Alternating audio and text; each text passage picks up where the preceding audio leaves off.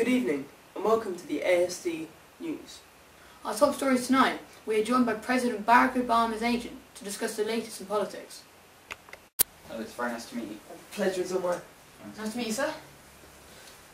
Well, John Carmine, it's a bit of an informal question, but you won. How does it feel? Well, I mean, it feels really good. All the effort, all the campaigning, all the all the hard work that we have put into this campaign. It's, it's a very nice feeling that we can say we've won this and that we've achieved what we set out to do. It's a very nice feeling.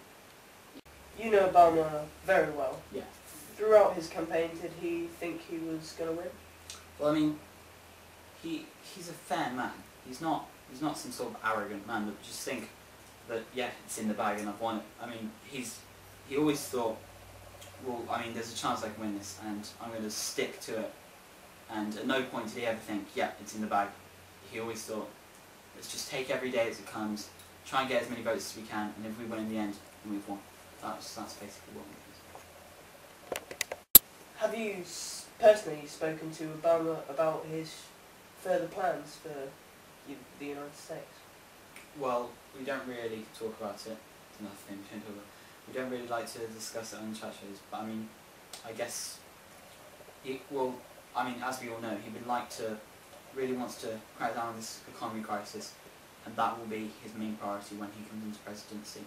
And he will do his very best and put many, many hours into trying to sort out this co- economy crisis, because we can't, it- it's the, it's the building blocks. We can't, we can't just start worrying about other things. This is the main criteria at the moment that we need to get sorted, and it will be his main. Yes, um, on the conference that he did the other day, he was saying that he's going to tackle this head on as soon as he hits presidency. Yeah. Join us after the break. We'll have more.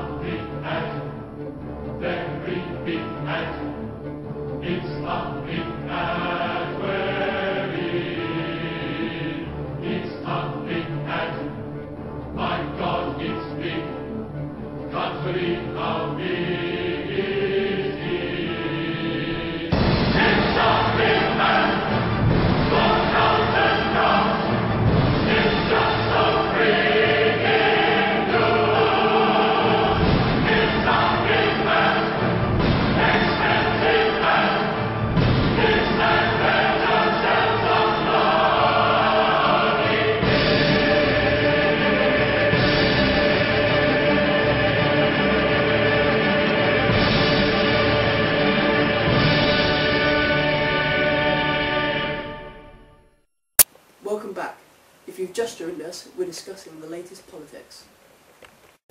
Well, I know you obviously can't talk about this in much depth, but there's been talk, well, Obama said that one of his um, second plans after the economy is moving troops out of Iraq. I mean, what what's your view on this? Is he going to do it? Yes, he's, he plans. That is also one of his things we like to do. But I mean, obviously after the economy crisis, because that is a crisis. Um, but yeah, he, he does want to take troops out of Iraq. There is no need for them to be in there. We've got what we need. We, we wanted to get rid of Saddam Hussein. He was a terror to people, and he was killing innocent lives, and we have achieved that. And there is no need for these people to be in Iraq anymore. So we are going to get these troops out and save many more lives. Okay. When Obama was a boy, did he ever think he could become president? Well, I mean, ever, ever since he was a young boy, he, he achieved head boy, and he always had ambition, and he always wanted to achieve those things. So, I mean, I'm not really surprised that he got there, because he had the determination, he wanted it that much, and that's where he got to. He's put in a lot of effort, and that's, that's, that's what effort gets you, I mean, it's all credit to him. Thank you for coming. It's been lovely to have you on the show. Thank you very much. Thank you. Good to see you soon. That's about all we've got time for now. See you next time on ASD News.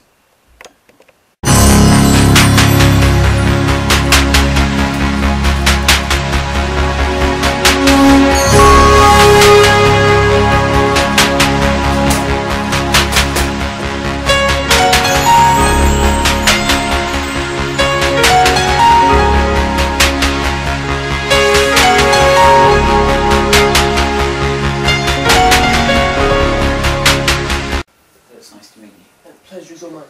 Nice to meet you, sir. Hello, John Carmine. Well, a bit of an informal question, but you won. How does it feel? Well, I mean, it feels really good because all the work, all the effort we've put into campaigning for this thing. so you've got to look at me, please. Look at me, yeah?